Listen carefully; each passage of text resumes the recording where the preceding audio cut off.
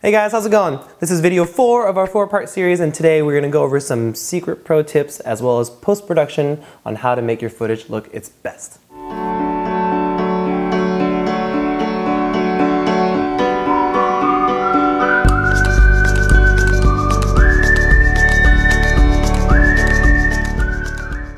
In video one, we discussed all the gear and all the equipment necessary to get started in aerial photography. In video two, we discussed safety precautions, pre-flight checklists, and everything that you need to know before you take off the ground.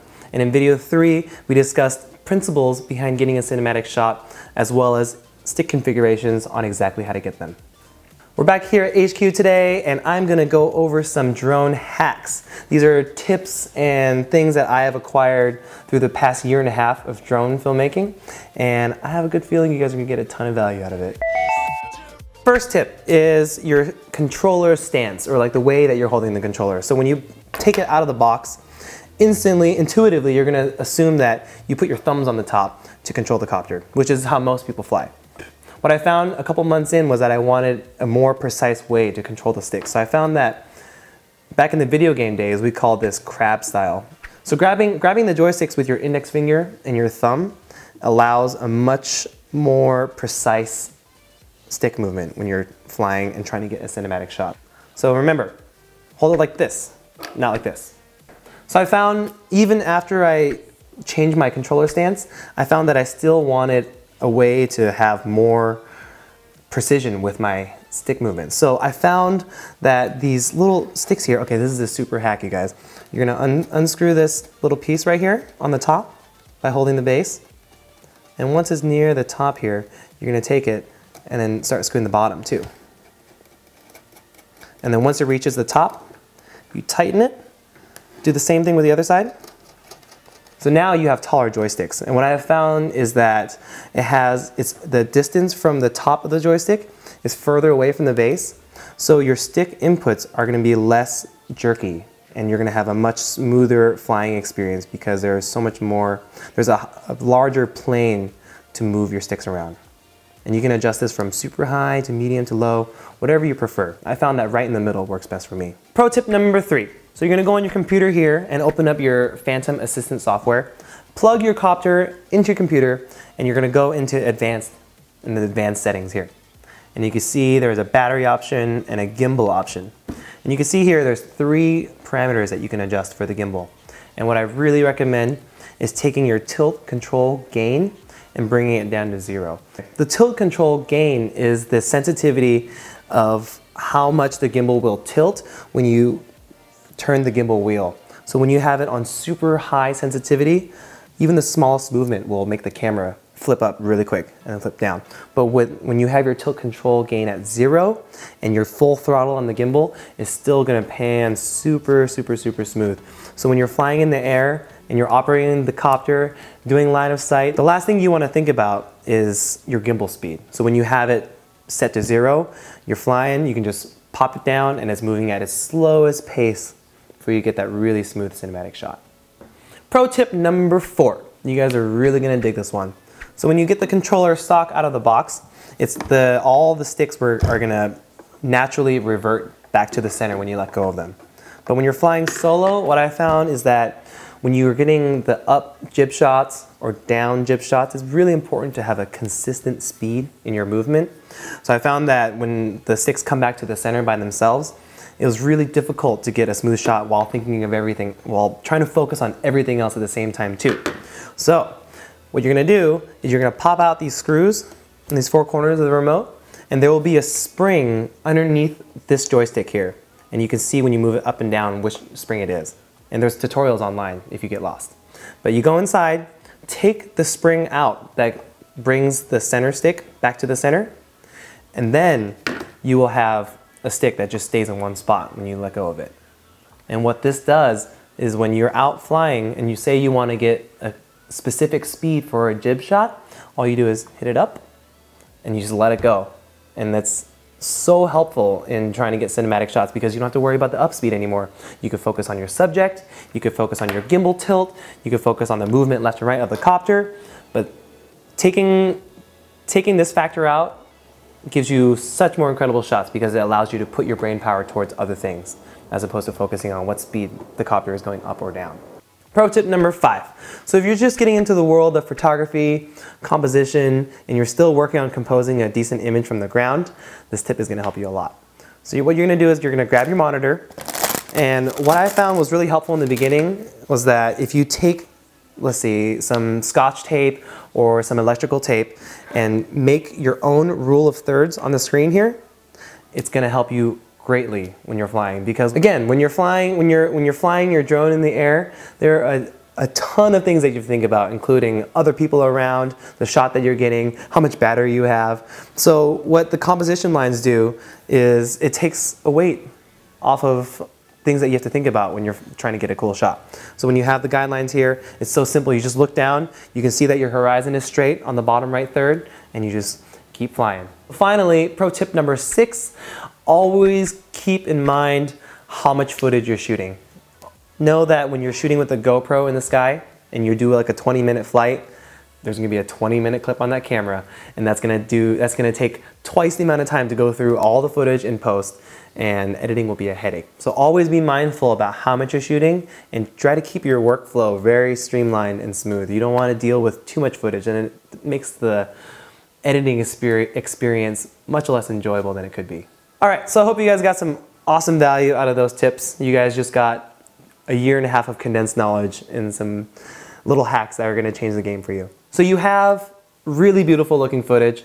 Let's take it into the computer and make it two, three, four, five times more beautiful. And I'm gonna go into post-production now and review a couple things that we do to make our shots look super dope. So the first step in post-production is having organized footage. Um, as a filmmaker and photographer, it's critically important to have all your stuff organized because that determines your workflow. And when you don't know where your things are, nothing gets done.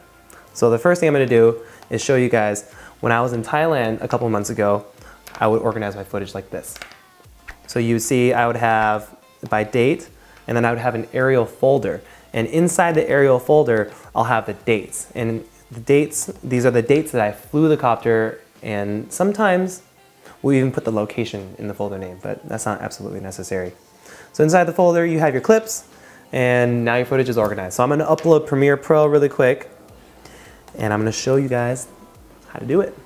So I'm gonna open a new project and I'm gonna save the project right here on my desktop, okay? I'm just gonna name it Phantom Footy. Okay? And typically, whether you're shooting in 1080, 720, make sure you choose your right preset along with your frame rate here. So now we're here in Premiere, and if you've never used it before, you can see that this is your project monitor. They're all labeled on the top here. This is your sequence timeline. Right here is where you keep all your footage. There's like your bins as well as your effects.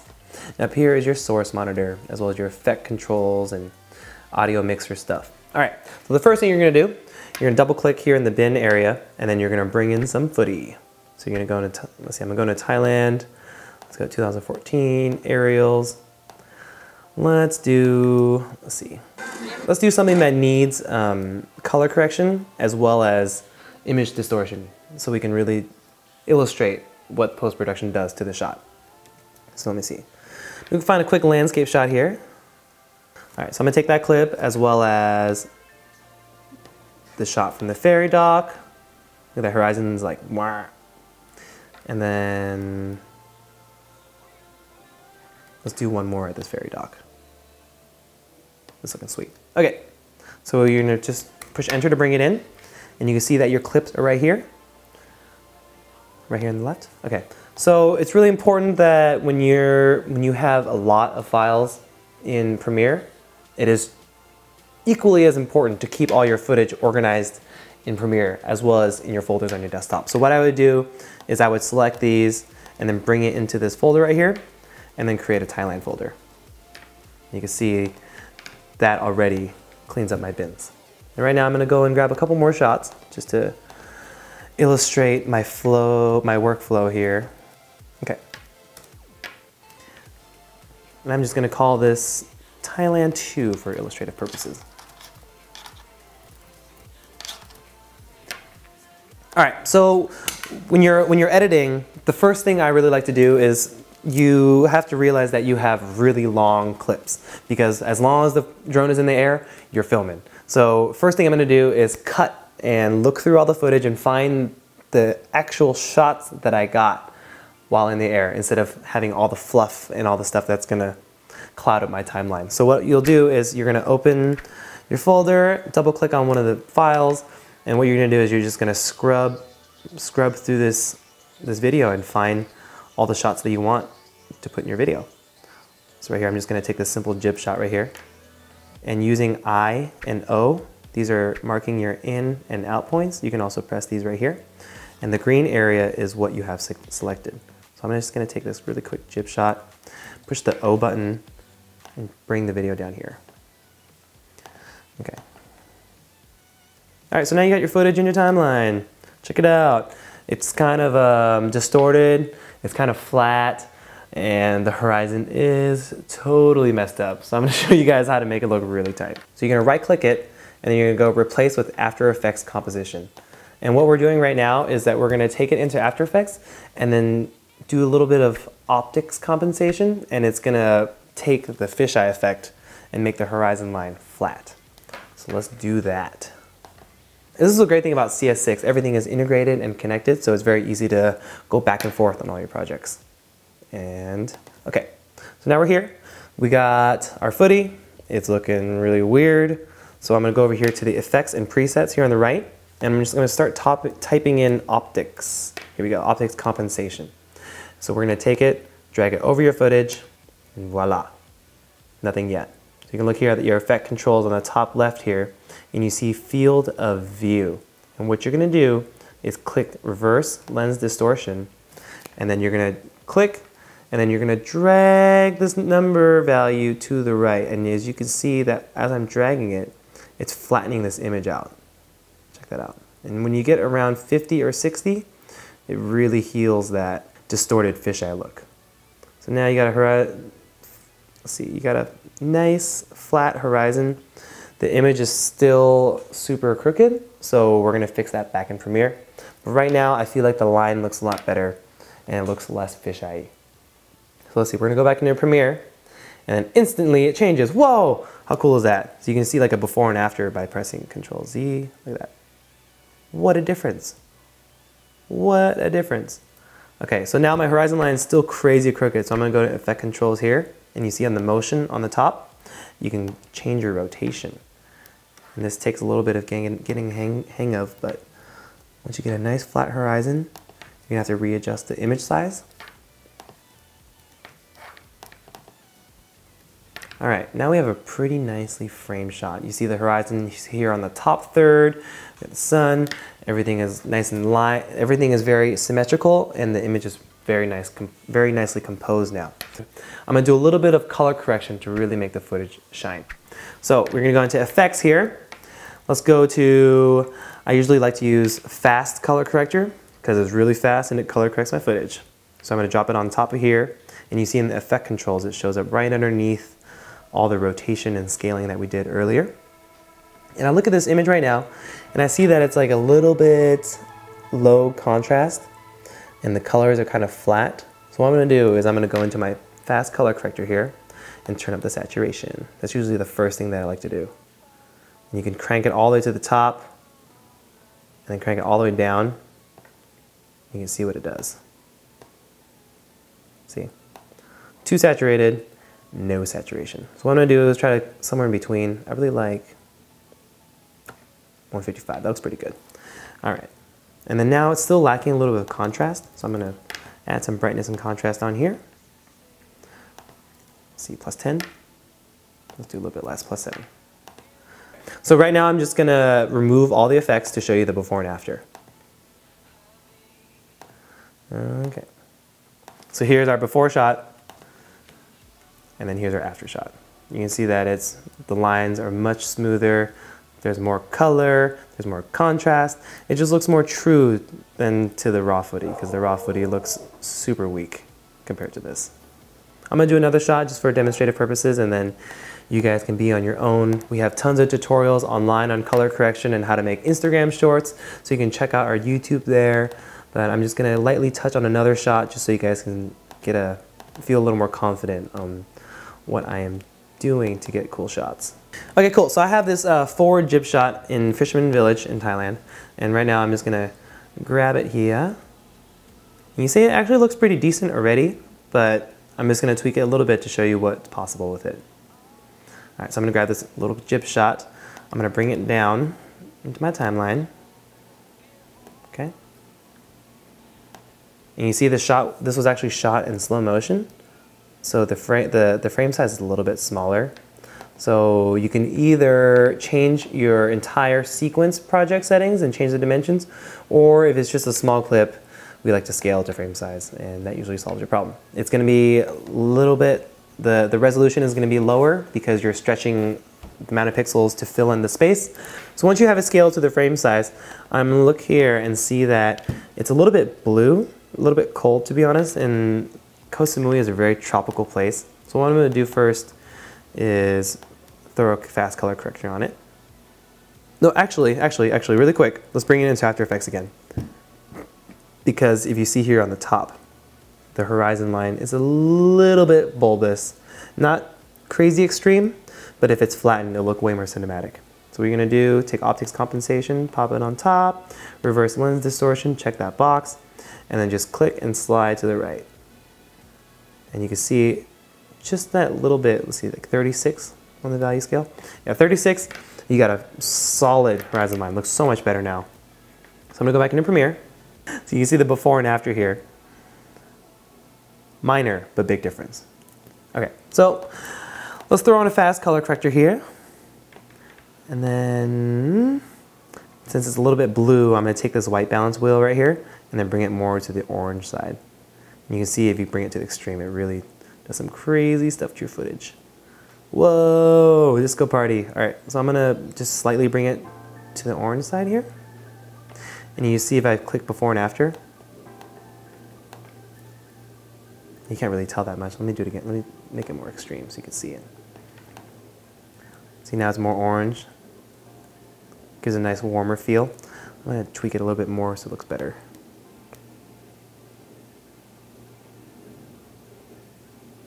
All right, and looking at this image here, it's a little bit, I say the shadows are a little bit dark here on the bottom. So what I'm gonna do here is take my input gray level and just turn it up a little bit. So you see how that brings out the shadows? Let me make this bigger so you guys can see it. Just turn it up, you can see what it does. It makes it like lower contrast levels, but it definitely brings out the shadows.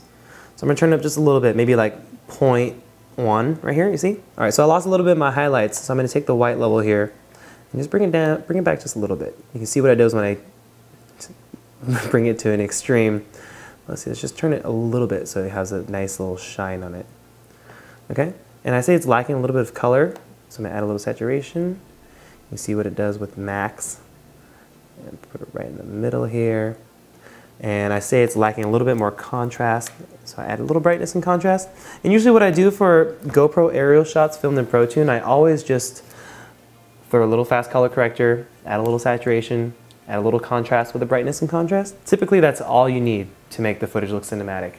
Unfortunately, these shots are not full of data, so you, the, more, the more effects you add to it, the more you tweak the colors and the way it looks, it's gonna degrade the footage and you're gonna start to see some artifacts and some really intense grain. The less you tweak the footage, the better it's going to look because it's just going to be minor things that have a big impact. But if you, if you, again, if you turn it too much, it's just going to destroy the footage. It's not going to look good anymore.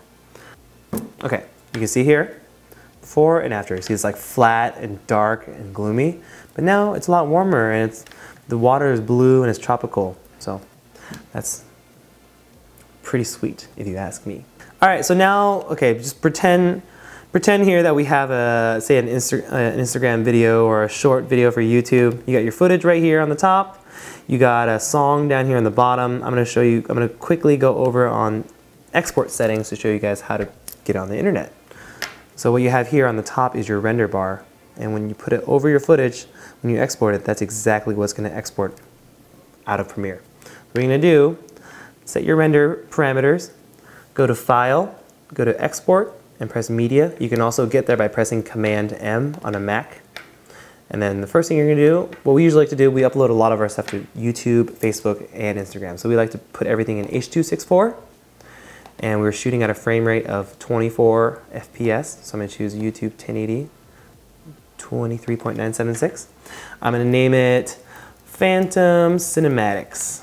Put on my desktop, and you can see here, here's your dimensions. If you're exporting 1080, and 720, whatever, whatever you want it to be. If you're exporting an Instagram, let me tell you a quick tip here. You export in 640 by 640. And you can see here on the left that it's a much, it's a, it's, it's a crop, it's a crop video now, which makes it fit perfectly in Instagram without stretching the video.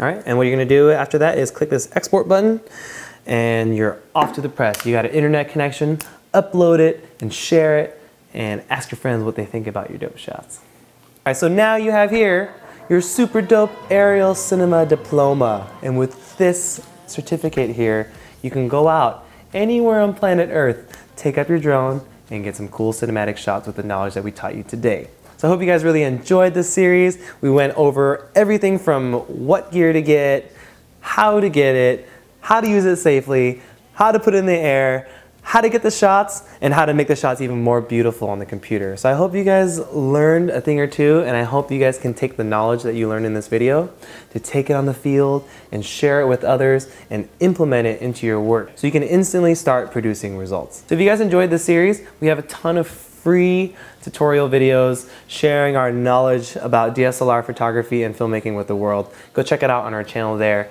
Also, follow us on Instagram and Facebook and Snapchat. We really appreciate your feedback. So let us know what you guys thought. We'd love to make more of these so we can more effectively share our knowledge with you guys and you guys can effectively take that information and implement into what you're doing. So since the making of this video, a ton of new technology and drones have rolled out to the marketplace, some of them including setups that are completely ready to fly. Not like everything included, from FPV to camera to everything out of the box is set up. And if that's not the route for you, you can go with the same setup that we have. And as always, the principles behind getting the cinematic shots will remain the same. All right, guys, thank you so much again for joining me today.